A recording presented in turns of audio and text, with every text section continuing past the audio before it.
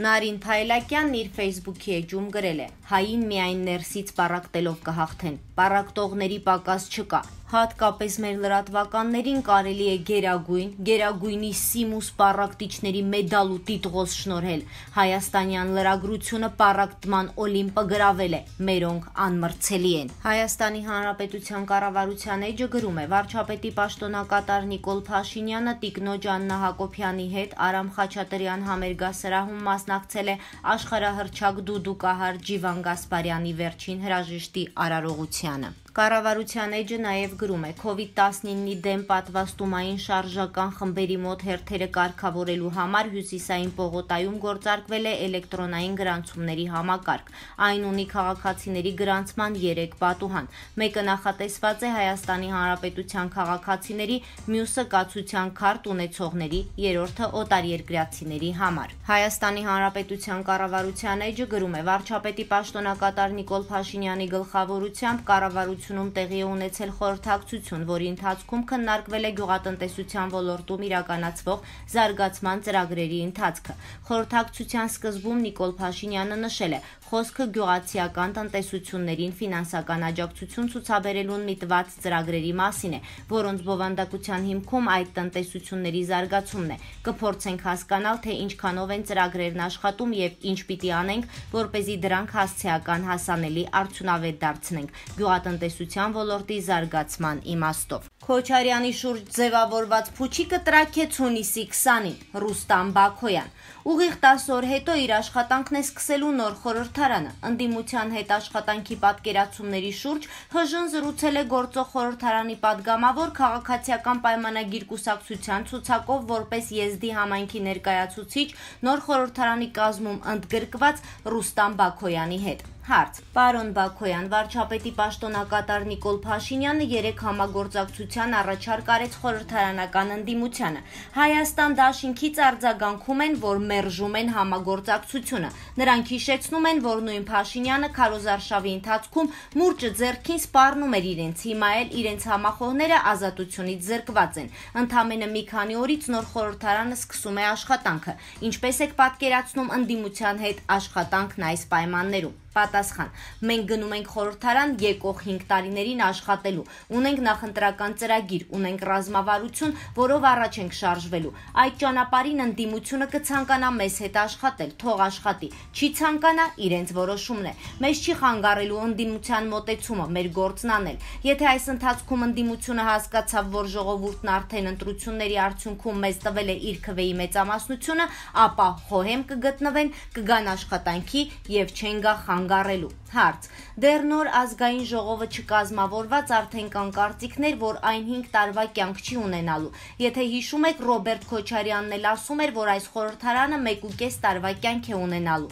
Ըստ ձեզ ինչով են պայմանավորված նման կանխատեսումները։ Պատասխան. Ինչ վերաբերում է ընդդիմադիրների նման ախորժակին, ապա եւս մեկ անգամ պետք է իրենց ու իրենց քաղաքական առաջնորդին հիշեցնել, որ իր շուրջ ձևավորված փուչիկը տրակեց հունիսի 20-ին։ Այս ընթացքում իրենք իրենց ահռելի ֆինանսական ռեսուրսներով ստեղծել էին այդ միֆը կամ փուչիկը, որ իրենք ձայների մեծամասնությամբ գալու են իշխանության։ Այդ անձանց ժողովուրդը հստակ իրենց տեղը ցույց տվեց եւ նրանք պետք է համակերպվեն իրականության հետ։ Գնան այս ճանապարհով, որը ժողովուրդը թելադրել է։ Եթե իրենց կառավարման տարիներին իրենց կամքով են շարժվել, ապա ցավում եմ իրենց համար, որի շնորհիվ ժողովրդի իրենք չեն կարող շարունակել ոչ օրինական գործողությունները։ Հիմա լինելու են օրինակ քաղաքականության դաշտում եւ դրանից դուրս ինչ քայլի էլ գնան, Պողպատե մանդատի են հանդիպելու։ Հանդիպելու են Պողպատե պատնեշի, որը ստեղծել է ժողովուրդը։ Ժամկետների շուրջ այդ հայտարարությունները զուտ իրենց պարտությունը ինչ որ կերպ արդարացնելու փորձ է։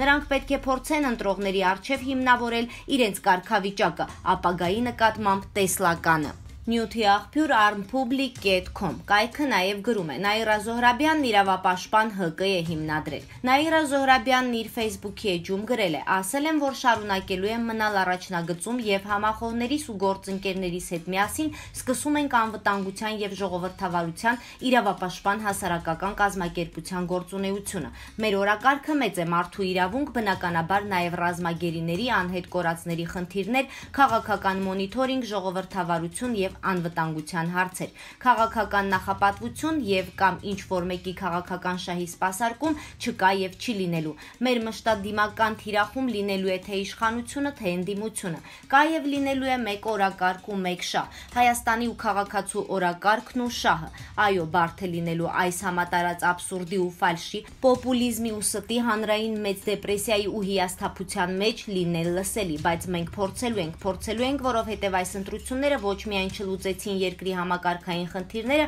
այլև կոսմետիկ սվաղի տակ փակելով խորացրեցին ազատ անկման անկյունը։ Փորձելու ենք, որովհետև ամեն ինչ շատ ու շատ པարզ է այս արհավիրքը կանգնեցնել է պետք։ Հունիսի 20-ի ընտրությամբ թիվ 1 այդ հարցը չլուծվեց, որովհետև ոչ իշխանությունը եւ ոչ էլ ընդդիմությունը իրենց արժեվ նման խնդիր པարզվեց չէին էլ դրել, նշել է նա։ Իսկ մենք հիշեցնենք, որ Նաիրա Զոհրաբյանը այս նույն ժողովրդին, ում շահերից խոսում է, անվանել է ժեղ, բոմժ, լափամանից սնվող եւ այլն։ Իսկ ինչ մնում է հիասթափված ժողովրդին, ապա այդ հիասթափված ժողովուրդը եւս մեկ անգամ ապացուցեց, որ ինքն է տերը իր երկրի եւ այլևս անօրինություններ չի հանդուրժելու։ Մի խոսքով, եթե Նաիրա Զոհրաբյանները չխանգարեն երկրի զարգացմանն ու կայունացմանը, մենք դանդաղ, բայց հստակ քայլերով առաջ ենք շարժվելու։ Ռուզան Ասատրյանն իր Facebook-ի էջում գրել է. «Սխալ քաղաքականության ճարիքը Եվրոխորհուրդ, որտեղ էի 44-օրյա պատերազմի օրերին, ինչու մինչև օրս սանկցիաներ չեք կիրառում ահաբեկչական պետությունների դեմ,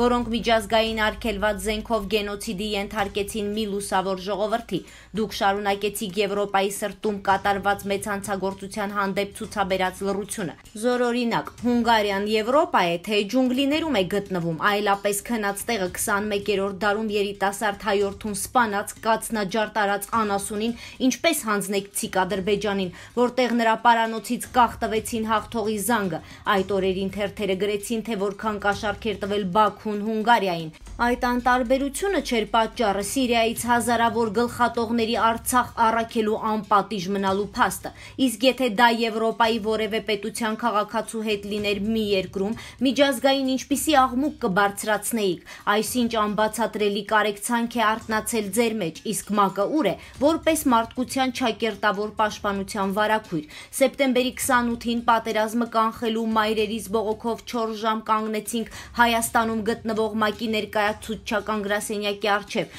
մինչև բարեհաճեցին ընդունել։ Ավելի լավ է չընդունեին, ոչինչ չարեց գնացին։ Ինչ ասեմ, շատ չեմ ուզում փակագծեր բաց անել։ Միայն կասեմ, որ երբ հայերս ուզեցել ենք ոդքի կանգնել, մեր ապրելու իրավունքը պաշտպանելու համար, ինչ որ ներքին հրահանգով թուրք վասալի ձեռքով մեզ անդամահատել եք որպես ազգի։ Հայերիս շահը ո՞րն է։ Տարածքների ու գենի կորուստը։ Հայը եւ տաղանդավոր է եւ աշխատասեր։ Նա միշտ էլ իր գլուխը պահել է։ Մուրացկան չդարձնեք վեհ ու իմաստուն ժողովրդին։ Եթե գիշատիչ ազգերին պատժեք, մենք մեր լեռների մեջ հրաշալի կապրենք մեր օրենք օրենքներով մեզ ծայրահեղության հասցնելով կարեկցանք եք ցուցաբերում, որ เป զի երկիրս անverջ պատակ պահեք ձեզ ապազգային որոշումներին, որը միշտ է այդպես եղել։ Նզով քասեմ այն հայ կոչվածներին, որոնք տեղ թողեցին մեզ նվաստացնելու։ Սերունդը պետք է գիտակցի, որ հայրենիքի համար միայն կյանքով չեն պայքարում, այլ հզոր ու զարգացած դիվանագիտական մտքի ուժով, խնայելով գենը կենսատարածքի տիրոջը, համախումբ եղեք ճարի դեմ, ով էլ որ նա լինի։